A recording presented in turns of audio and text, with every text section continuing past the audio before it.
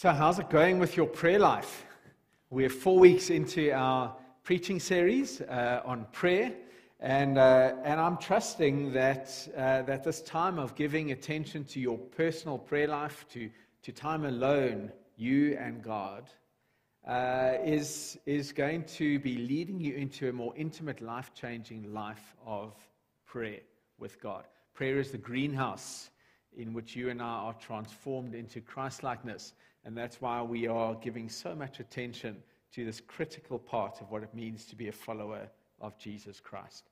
We prayed the Lord's Prayer a few minutes ago, and it's that prayer which we are studying. Each week, we're looking at one phrase of the Lord's Prayer.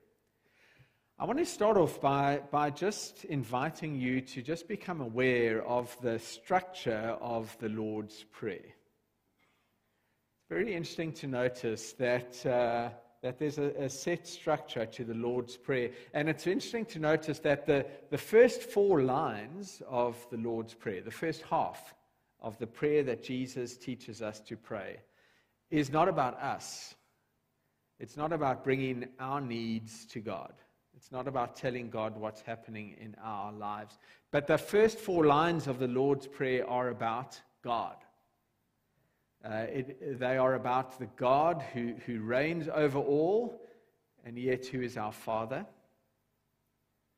It is about praying, let your name, God, be honored. Let your kingdom come. Let your will be done. And so the prayer that Jesus teaches us to pray teaches us that prayer begins when you declare to God, and you say to God, I am more committed to your will than I am to my own will. That life changing prayer happens when we pray and say, God, I'm not here to convince you to bend to my will, but I am here to bend to your will.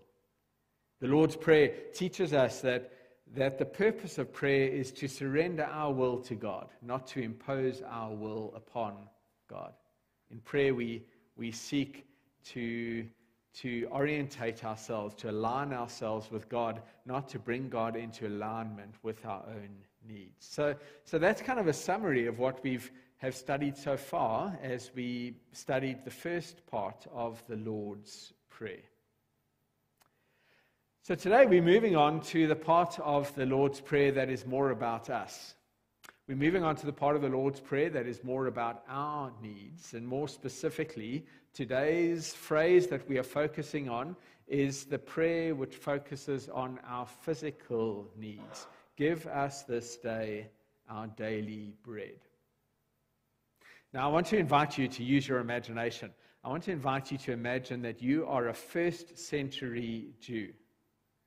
Your Bible is what we Christians call the Old Testament, what, what is known as the Jewish, the Hebrew Scriptures.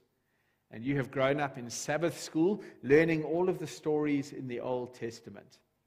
And then you're sitting down on the hillside and you hear Jesus teaching about prayer. And Jesus teaches you to pray, Give us this day our daily bread.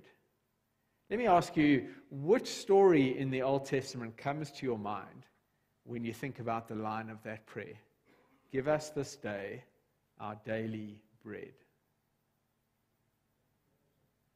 Yes?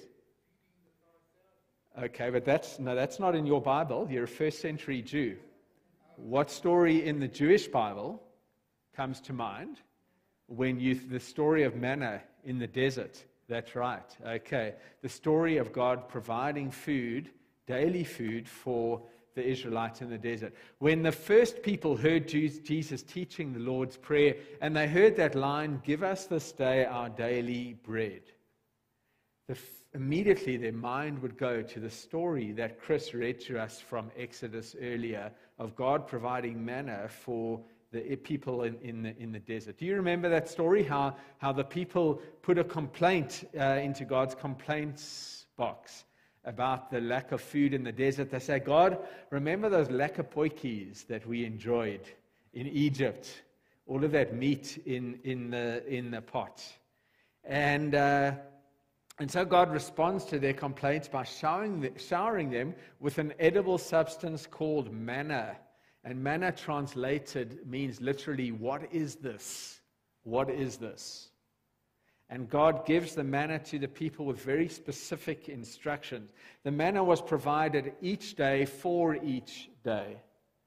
And so uh, the people were to learn daily reliance on God. They were to know that as we journey through life, we owe nothing, but we can trust God for our daily bread. Secondly, the people gathered manna each day for their clan. They learned that although God provided, they still had to work, they still had to go and gather it, they needed to collect it, and they collected it not just for themselves and their family, but for their clan. They were sharing. Third, the people were instructed that they were only to gather enough for each day so that there would be enough to go around. Do you remember how, when the instruction, instruction was ignored, the manna that was hoarded uh, attracted maggots and went rotten and smelly? And this was God's judgment on our our greed, on this human tendency to hoard out of fear for not having enough bread for tomorrow.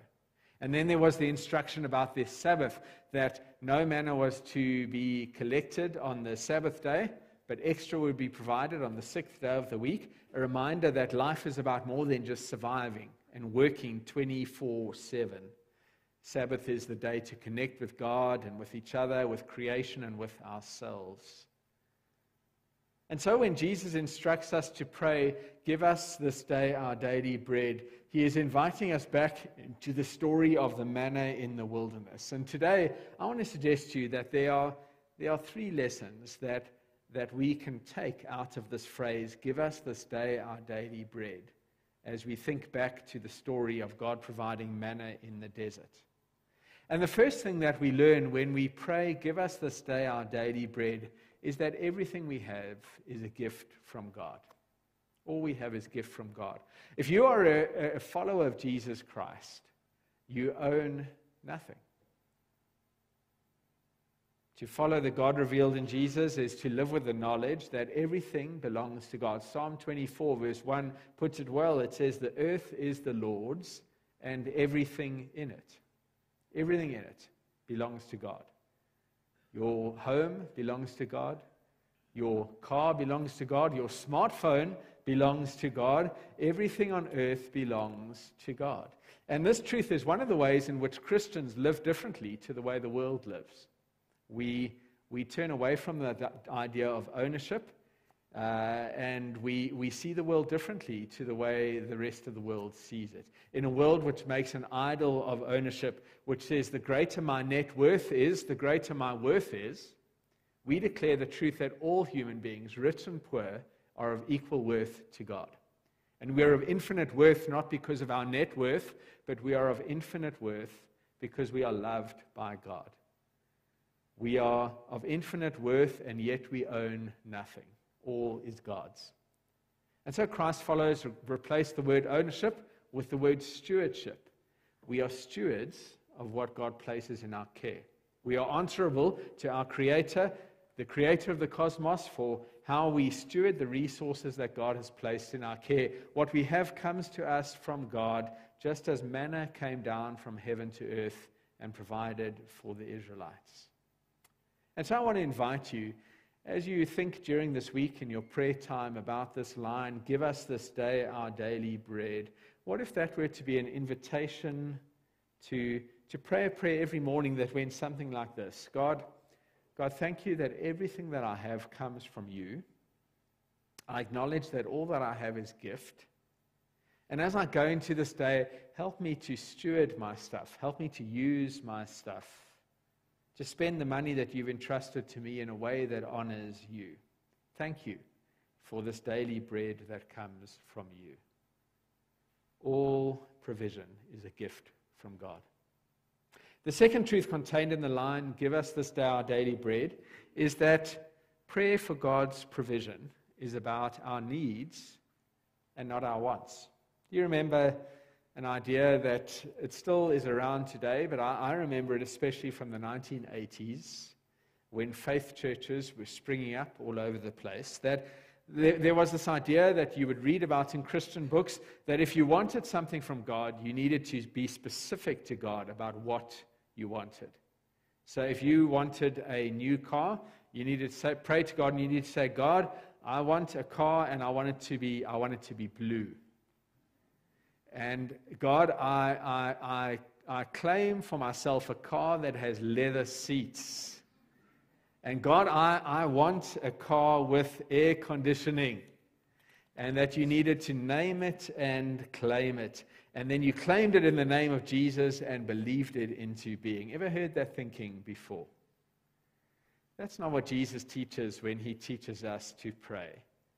He teaches us to pray, Give me today my daily bread. And so we are to ask God for the things that we need.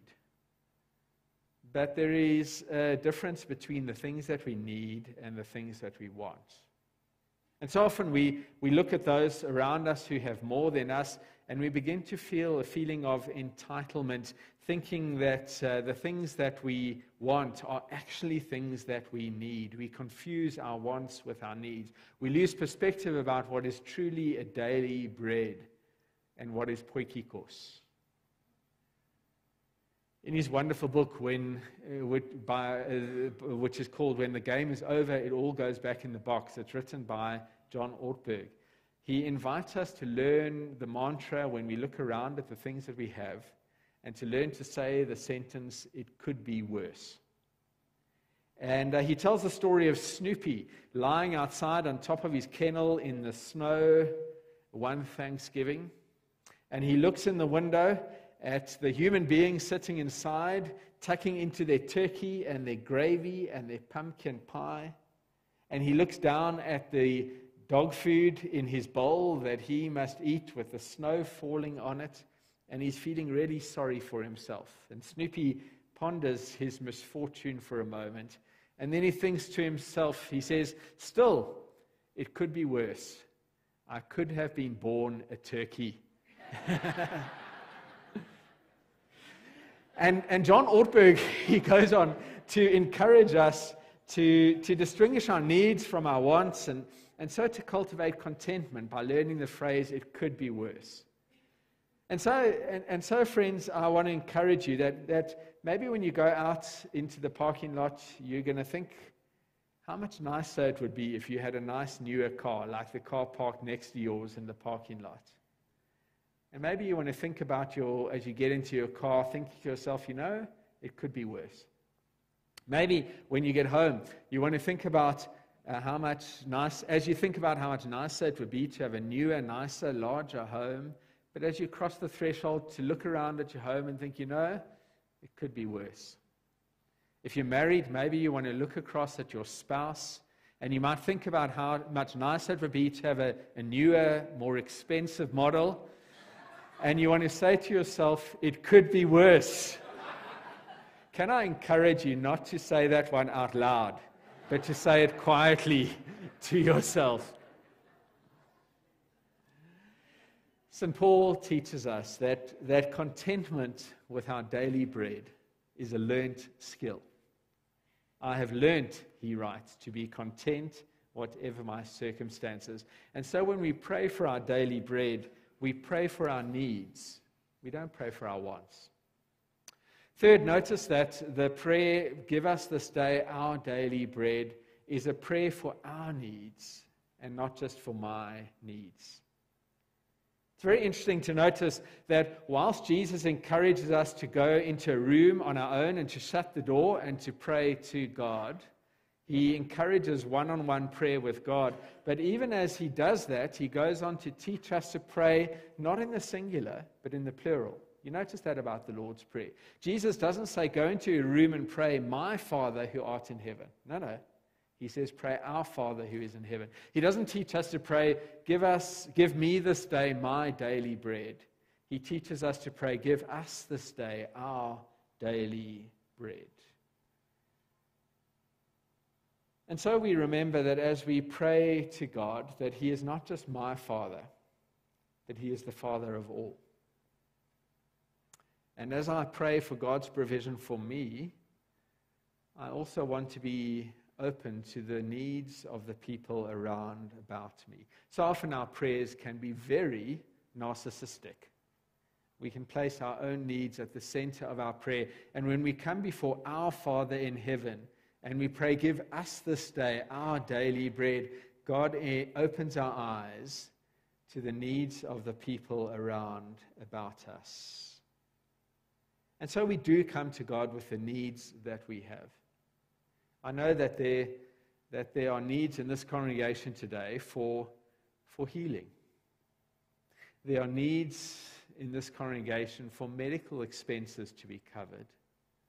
There are needs here today that are very, very real. And God says to us that, uh, that we are to, to not worry, but to cast all our cares upon Him. Philippians 4 tells us that we shouldn't be anxious about anything, but by prayer we are to make our requests known to God. Give us, God, this day our daily bread. But even as we bring our needs to God, we always ask God to open our hearts to the needs of the people around us. So, friends, those, those three lessons about the line, Give us this day our daily bread. We, we pray, first of all, that uh, we acknowledge that everything we have is gift from God. Second of all, we, uh, we pray for our needs and not our wants. And third of all, we pray for our needs and not just my needs. Now, I want to move on to just ask each one of you to consider another question this morning. And you don't need to answer it out loud. I just want to invite you to answer this question for yourself. I want to invite you just to think about how many of you have ever had to worry, have ever had to worry about where your next meal will come from. You know, when I consider that question, I know that I'm very, very fortunate. I have never, I've never gone to bed on a hungry stomach. I've never had any doubt that I would have food to eat when I woke up the next morning. And whilst that may not be true for everybody in that room, this room, I suspect that it's true for most of us today. So, for those of us who have never had to pray for, for food, who have never had to worry about going hungry, what does it mean for us to pray, Give us this day our daily bread? I want to invite you to think about the, the truth that, that there are other hungers that this line of the Lord's Prayer can be speaking about.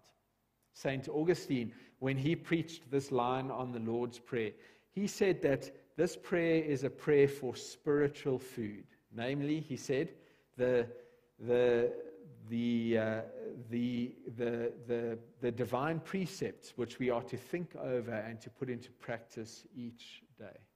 And there are many other saints of old who, meditating on this line of the Lord's Prayer, give us this day our daily bread, they have realized that for them, this is a prayer for nothing less and nothing other than Jesus Christ Himself. And how did they come to this conclusion? Well, uh, let, me, let me turn to another passage of Scripture that we're going to look at now. And this passage of Scripture also references the providing of manna in the desert. It tells of a time when the disciples come to Jesus and they say to Jesus, Jesus, give us a sign, give us a, a miracle so that we can know who you are. Just as, just as Moses gave manna in the desert. And so from John chapter 6 and verse 30, the disciples asked Jesus, What sign then will you give that we may see it and believe you? What will you do? Our ancestors ate the manna in the wilderness, as it is written, He gave them bread from heaven to eat. Now, listen to what Jesus said to them. He said, Very truly, I tell you, it is not Moses who has given you the bread from heaven, but it is my Father who gives you the true bread from heaven. For the bread of God is the bread that comes down from heaven and gives life to the world. Sir, they said, always give us this bread. And then Jesus declared, I am the bread of life. Whoever comes to me will never go hungry, and whoever believes in me will never be thirsty. And so here Jesus is speaking, he's speaking not so much to our physical hunger for food, but to the spiritual hunger that is in every human being, that hunger that we have for acceptance, for purpose, for forgiveness, for hope, for peace, the hunger deep inside every human being that only God can satisfy. One of the giants of South African Christendom and of South African Methodism is a man by the name of Peter Storey. And Peter Storey has just released his autobiography, and I spent much of my day off on Friday reading uh, his autobiography, and I was fascinated by what Peter wrote about his own discovery of Jesus, the bread of life. And I want, I want to read to you what he said about his own discovery, what he writes about his own discovery of Jesus who satisfied the deepest hungers of his soul. He wrote this, he wrote, This God won me, a divine lover, whose belief in me was infinitely more significant than my failing efforts at faith in him. A God who would never give up on me or the world he so loved. A God who wooed rather than threatened. Whose vulnerability was more winsome than his omnipotence a God who transformed me not through fear, but by the expulsive power of a new affection. This God came to me in the story of Jesus. Friends, the, the God who is the bread of life, he comes to us. He comes to us in Jesus. He comes to us in Jesus' life and teachings, in his self serving, self giving death, in his resurrection, which conquers death and sin, he comes to us in the power of his Holy Spirit. And Jesus reveals himself as the bread of life that satisfies the deepest, deepest longings of our souls. And Jesus promises that when, that when we come to him in humble surrender, when we accept his lordship over our life, then we will never hunger in the deep places of our souls again. And so to pray, give us this day our daily bread. It can be to pray, it can be to pray, Jesus, give me yourself this day. I need you. I need your forgiveness. I need your guidance. I need your lordship. I believe that you are the only food that satisfies my restless soul. I receive you into my life, the bread of heaven. Now, I want to share with you what we're going to do now before we move into Holy Communion. We are going to, uh, we're going to take up the offering. But don't dig into your purses just yet because I want to explain that you are not only going to place a love offering into the offertory bag today, but uh, as well as being passed the offertory bag, you will also be passed one of these baskets with bread inside of it. And I want you to take, uh, to take one of the, the pieces of bread and just to, uh, as the bread is passed, just to, just to take a little piece of bread and to, and to hold it in your hands. And as you do that, just to think about what is, what is your hunger right now? What does it mean for you to pray, Give us this day our daily bread? There may be some of you for whom it is literally a prayer for provision of food for you, for your household. It may be that there is some other physical need, material need that you have in your life. And maybe that's what that means for you. Maybe, maybe there's a deeper hunger in your soul. And it's Jesus, the bread of life, that you will be praying for. And so we're not going to sing during the offertory. Uh, but uh, but um, Jenny is going to be playing music in the background. And this is going to be a time of meditation for each one of you. Bring your gift to God and then receive this bit of bread. Just hold it. And then at the end, uh, and I will be praying over the offertory today. And uh, I'll just be also praying, leading us in a prayer to Jesus, the bread of life. So we bring our gifts and our offerings, and we also receive this bread, which is a symbol of what give us this day our daily bread means for you. Let us enter into this time of prayerful reflection together now.